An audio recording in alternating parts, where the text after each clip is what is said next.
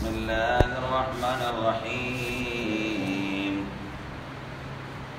നമ്മൾ ഇന്നലെ സലാം പറയുന്നതിനെ സംബന്ധിച്ച് സലാം പറയുമ്പോൾ കൈ പിടിക്കുക അതുപോലെ ആലിംഗനം ചെയ്യുക ചുംബിക്കുക ഇവകളെ സംബന്ധിച്ച് നമ്മൾ ഇന്നലെ പറഞ്ഞു ആ കൂട്ടത്തിൽ നമ്മൾ മക്കളെ ചുംബിക്കുന്നതിനൊക്കെ സംബന്ധിച്ച് പറഞ്ഞു ഇനി ഇവിടെ പറയുന്നത് മാതാപിതാക്കളോട് സലാം പറയുന്ന രീതിയും അവരെ ബഹുമാനിക്കുന്നതിന്റെ രീതിയുമാണ്. അവരെ ബഹുമാനിക്കുക എന്ന് പറയുന്നത് മാതാപിതാക്കന്മാരെ സ്നേഹിക്കുക അവരോട് നല്ല വാക്ക് പറയുക എന്നൊക്കെ പറയുന്നത് അത് അള്ളാഹു സുബാനുവത്താര നമ്മളോട് നിർബന്ധമായി ചെയ്യണം എന്ന് പറഞ്ഞ കാര്യമാണ്. ألا تعبدوا إلا إياه وبالوالدين إحسانا. إما يبلغن عندك الكبر أحدهما أو كلاهما فلا تقل لهما أف ولا تنهرهما وقل لهما قولا كريما. مثل إليك അള്ളാഹുവിന്റെ റസൂൽ സല്ലല്ലാഹു അലൈഹി വസല്ലമ തങ്ങളോട് നബി തങ്ങൾ അള്ളാഹു പറയാണ് അള്ളാഹുവിന്റെ ഹബീബ നബിയെ നിങ്ങളുടെ രക്ഷിതാവ് നിങ്ങളോട് വിധിച്ചിരിക്കുന്നു. അള്ളാഹുവിനെ അല്ലാതെ നിങ്ങൾ ആരാധിക്കരുത്. അള്ളാഹുവിനെ അല്ലാതെ നിങ്ങൾ ആരാധിക്കരുത്. അതിനെ തൊട്ടു പിന്നാൽ അള്ളാഹു പറയുന്നത് വബിൽ ഹസാന. മാതാവിനോടും പിതാവിനോടും നന്മ ചെയ്യണം ഗുണം ചെയ്യണം. إما يبلغن عندك الكبر أحدهما أو كلاهما നിങ്ങളുടെ അരികിൽ നിങ്ങളുടെ വാപ്പയോ വയസ്സന്മാരായ നിങ്ങളുടെ വാപ്പയോ ഉമ്മയോ അല്ലെങ്കിൽ വാപ്പയും ഉമ്മയും ഒന്നിച്ച് നിങ്ങളുടെ കൂടത്തിൽ ഉണ്ടെങ്കിൽ ഉഫിൻ അവരോട് ചേന്നുള്ള വാക്ക് പോലും പറയാൻ പാടില്ല വലാ തൻഹറുഹുമാ അവരെ വെറുപ്പിക്കാനും പാടില്ല കരീമാ അവരോട് നിങ്ങൾ കരീമായ സംസാരം സംസാരിക്കണം. നല്ല സ്നേഹമുള്ള നല്ല സന്തോഷമുള്ള മൃദുലമായ രീതിയിൽ വളരെ സൗമ്യമായ രീതിയിൽ അവരോട് എന്താക്കണം സംസാരിക്കണം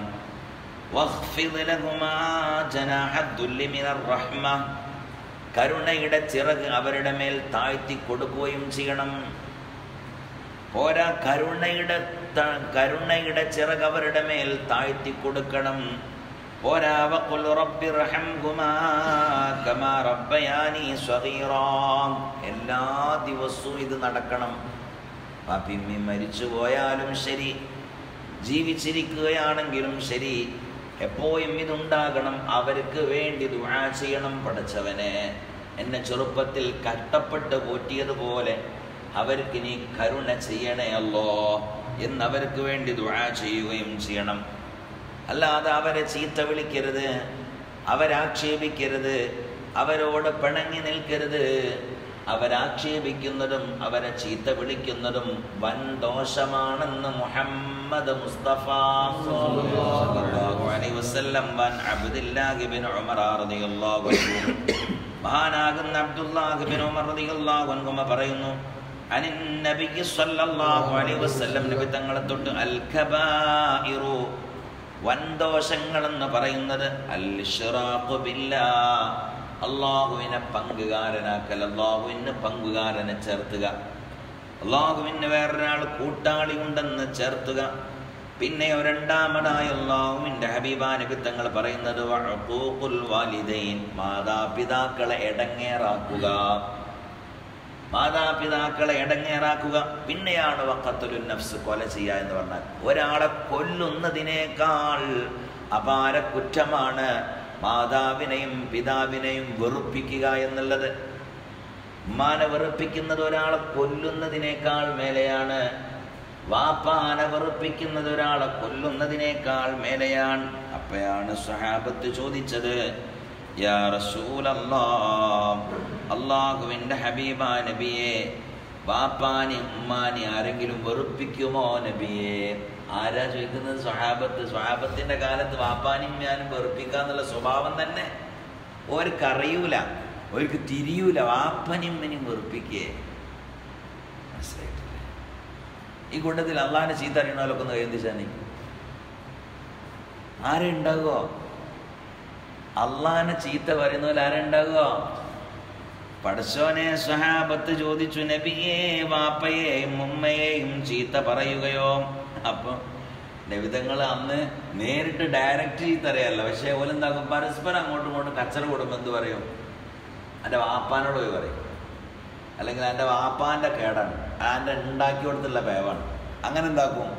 പറയാറുണ്ട്. ആര്? ആ കാലത്ത്. അതുപോലും തെറ്റാണ്. ചില ആൾക്കാർ പറയാറില്ല നായിന്റെ മോനെ എന്ന് വിളിക്കാറില്ലേ ഇപ്പം ഇവിടെ നിങ്ങൾക്ക് പറയാൻ പേടില്ല. പക്ഷെ എന്നാലും നിങ്ങൾക്ക് പഠിക്കാൻ വേണ്ടി പറയാം. നായിന്റെ മോനെ എന്ന് വിളിക്കാറില്ലേ? അത് ഏറ്റവും വലിയ പാപമാണ്. പുണ്യ റസൂൽ സല്ലല്ലാഹു അലൈഹി വസല്ലമ തങ്ങളോട് സ്വഹാബത്ത് ചോദിച്ചു ഖീല കയ്യാ റസൂലല്ലാഹ് കൈഫ യൽഅനു റജുലു വാലിദൈഹി? എങ്ങനെയാണ് നബിയെ മാതാപിതാക്കന്മാരെ ലഅനത്ത് ചെയ്യാ? അപ്പം കാല നബി തങ്ങൾ പറയുകയാണ് യസുബ്ബു അബർ റജുലി ഫയസുബ്ബു അബാഹു വയസുബ്ബു ഉമ്മഹു വയസ് ഫയസുബ്ബു ഉമ്മഹു മഹാനാകുന്ന റസൂലുള്ളാഹി തങ്ങൾ പറയാണ് യസുബ്ബു അബർ റജുലി ഫയസുബ്ബു അബാഹു. ഒരാൾ അയാൾ മറ്റാന്റെ വാപ്പാനെ പറയും അപ്പൊ തിരിച്ചയാൾ എന്താക്കും? നമ്മളെ വാപ്പാനെ പറയും അല്ലേ ഞാനിപ്പോ ഒരാളെ നായിന്റെ മോനെ എന്ന് വിളിച്ചാൽ അയാൾ എന്നെ എന്ത് വിളിക്കും? അന്നം തിന്നണ ഓനാണെങ്കിൽ എന്ത് വിളിക്കും?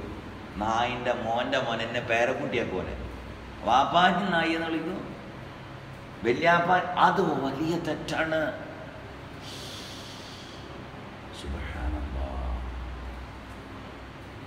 അള്ളാഹു സുബ്ഹാനഹു വതആല കാത്തുരക്ഷിക്കട്ടെ. മഹാനാകുന്ന രവിത്തങ്ങൾ പറയാൻ അത് വിളിക്കുന്നവെന്ന് സ്വർഗം പോലും ഉണ്ടാകുകയില്ല സുബ്ഹാനല്ലാഹ്. ഒരാളെ നായിന്റെ മോനെ എന്ന് വിളിക്കാം. അല്ല വാപ്പാനോട് പോയി പറയുന്നറിയാം അന്നെ ഉണ്ടാക്കി കൊടുത്തുള്ള കുഴപ്പമാണെന്ന് പറയാം. മനസ്സിലായിട്ടില്ലേ? അള്ളാഹു കാത്തുരക്ഷിക്കട്ടെ. കാരണം മാതാവും പിതാവും എന്ന് പറയുന്നത് കളിക്കുന്ന കളിയല്ല. അള്ളാഹുന്റെ റസൂൽ പറയുകയാണ് ജന്ന അവർ സ്വർഗലോകത്തിന്റെ സെൻട്രർ വാതിലാണ് നടുവിലത്തെ വാതിലാണ് വാപ്പയും ഉമ്മയും എന്ന് പുണ്യനബി മുഹമ്മദ് മുസ്തഫ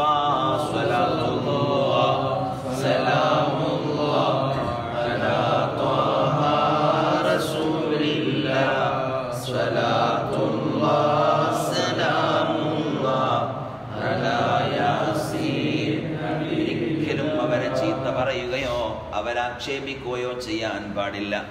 അവരുടെ കരുണയുടെ നോട്ടം നോക്കുകയും കരുണയുടെ സംസാരം സംസാരിക്കുകയും ചെയ്യണം. മൂന്ന് വസ്തുവിലേക്ക് നോക്കി നിൽക്കുന്നതും കൂലിയാണ്. ഒന്ന് വിശുദ്ധമായ കഴബ കഴബയിലേക്ക് എത്ര നേരം നോക്കി നിൽക്കുന്നു അത്ര നേരം കൂലിയുണ്ട്. രണ്ട് വിശുദ്ധ ഖുർആൻ. ഖുർആാനിലേക്ക് എത്ര നേരം നോക്കി നിന്നാലും കൂലിയാണ്.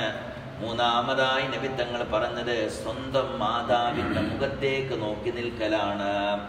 ഉമ്മച്ചിന്റെ മുഖത്തേക്ക് എത്ര നേരം നോക്കിന്നാലും എന്താണ്? കൂലിയാണ് മഹത്വമാണ്. അവരൊരിക്കലും വെറുപ്പിക്കരുത്.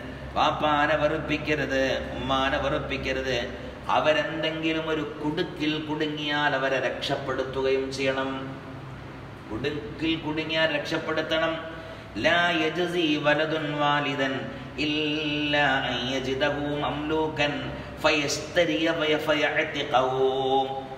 ഒരു വാപ്പാനെ ഒരു രാജാവ് ഒരു ഒരാൾ അടിമയാക്കി. ഒരു വാപ്പാനെ ഒരാൾ അടിമയാക്കി. ഈ വിവരം മകൻ അറിഞ്ഞു. എന്നാൽ ആ മകന്റെ ബാധ്യത തീരൂല. എങ്ങനെയല്ലാതെ? ആ യജമാനിൽ നിന്ന് വാപ്പാനെ വില കൊടുത്തു വാങ്ങിയിട്ട് മോചിപ്പിച്ചിട്ടല്ലാതെ. ഈ മകന്റെ അഴമാലുകൾ പോലും അള്ളാഹു സ്വീകരിക്കുന്നതല്ല. മനസ്സിലായിട്ടില്ലേ? അപ്പൊ ഇനിയിപ്പോ നമ്മൾ ഇങ്ങോട്ട് അർത്ഥം വെക്കുക. നമ്മുടെ നാട്ടിലേക്ക് അർത്ഥം വെക്കുക. വാപ്പ ഒരു കടക്കാരനായി. വാപ്പ കുറെ പൈസക്ക് കടക്കാരനായി. ആ കടമുള്ള വാപ്പാന്റെ കടങ്ങൾ വീട്ടാതെ സ്വസ്ഥമായിട്ട് സുന്ദരമായ ജീവിതം നയിക്കുന്ന ആളുകൾ ഉണ്ടല്ലോ അവരല്ലാഹുവിന്റെ ഇഷ്ടദാസന്മാരാകുകയില്ല. അവരല്ലാഹു അവരെ അള്ളാഹു ഇഷ്ടപ്പെടണമെങ്കിൽ എന്ത് ചെയ്യണം? പാപ്പാന്റെ കടം പരിശോധിച്ച് ആ കടങ്ങൾ വീട്ടി. എന്നിട്ട് വാപ്പാനെ സ്വതന്ത്രനാക്കുന്നവൻ അവൻ ബാധ്യതകൾ വീട്ടിയവനാണെന്ന് പുണ്യനബി മുഹമ്മദ് മുസ്തഫ. തങ്ങളാണ് ഈ ഹദീസ് ഉദ്ധരിക്കുന്നത്. മുസ്ലിം റിവായത്ത് ചെയ്തിട്ടുണ്ട്. മനസ്സിലായില്ലേ? വലാ